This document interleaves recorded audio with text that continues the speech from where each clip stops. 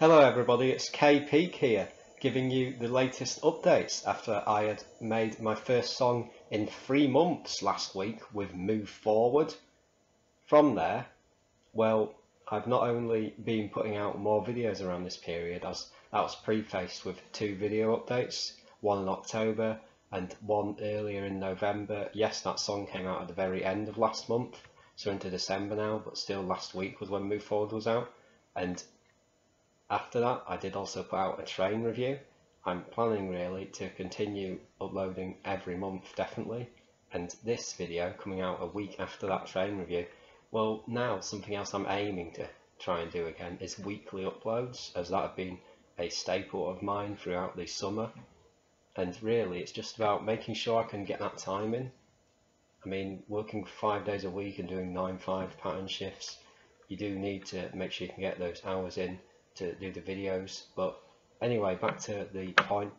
Yep, it was Get Down back in August, and then three months later, I came with my comeback track, Move Forward.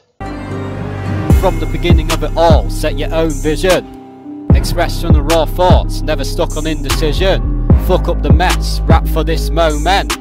Here it is actually, the same room that I've been frequently recording my videos in. Also, as you can see, Christmas jumper on. I've even got my candy canes hanging out there. Might actually be making a Christmas song.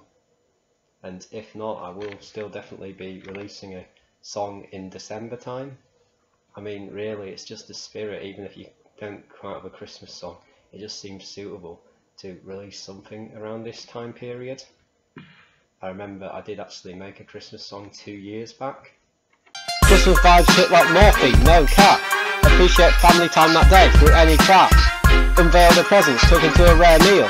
Yep, that was a hit, and to be honest, with me having made this comeback, I was barely gone through uploading. It was only two months, so unlike when I had took the gap from August 2022 until the next year, I mean, then there was just a whole lot of things going on, especially because I had a hearing impairment.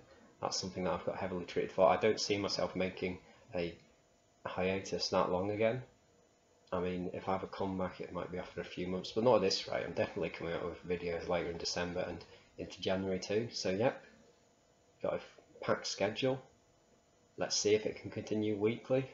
Candy cane. I enjoy this. Straight after the video time for that. Thanks for watching. Goodbye.